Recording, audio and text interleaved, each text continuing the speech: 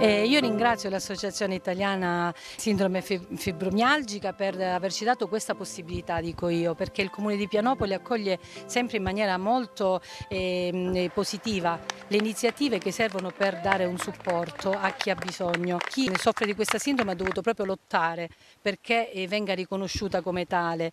Eh, il lavoro fatto da, da, da, questo gruppo è un lavoro davvero immane e so che eh, sono sempre sempre eh, occupati e, e, presenti sul territorio per far conoscere.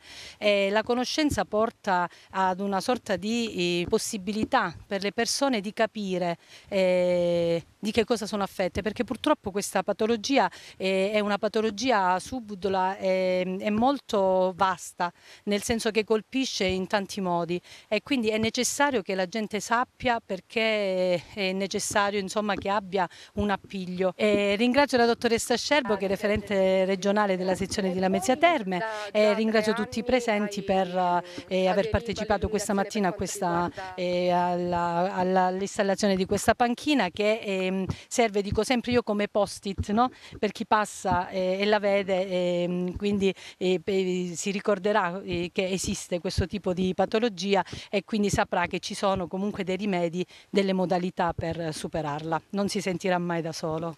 Grazie. Grazie a voi. Questo è per lei. Grazie mille. Io invece ringrazio assolutamente il Comune di Pianopoli, ringrazio la dottoressa Valentina Cuda, il, il nostro sindaco, per aver aderito non solo a questa iniziativa per quanto riguarda la panchina, l'installazione di una panchina viola sulla fibromialgia, ma per tutte le iniziative che noi abbiamo fatto, come anche l'illuminazione del monumento nella giornata del 12 maggio, giornata mondiale della fibromialgia. Questa è la sesta panchina, noi vogliamo inaugurare, vogliamo rendere sempre più visibile comunque una sindrome che purtroppo è invisibile, però eh, totalmente reale e concreta, anche perché comunque è una sindrome cronica e invalidante.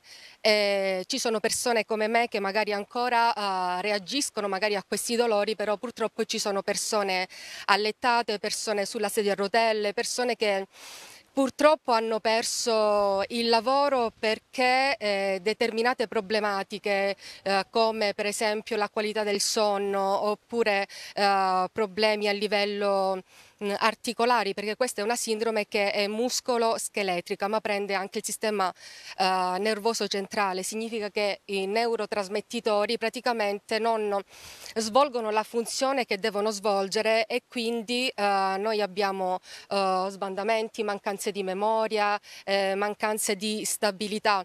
Quindi come si capisce è una sindrome che è vasta, infatti va curata a 360 gradi. Noi eh, siamo presenti alla Mezzia Terme all'ambulatorio numero 19 ogni giovedì dalle 10 alle 12 per accogliere tutte le persone che soffrono di fibromialgia ma non solo, anche le persone che vogliono oh, capirne di più e vogliono comunque stare accanto e comprendere la persona che, eh, che ne soffre perché purtroppo eh, non siamo molto tutelate, molto capite sotto questo punto di vista. Concludo ringraziando tutte le persone che hanno partecipato, ringrazio di nuovo il nostro sindaco di Pianopoli Valentina Cuda e eh, sicura di una nostra uh, successiva uh, collaborazione le, le auguro una buona giornata. Grazie.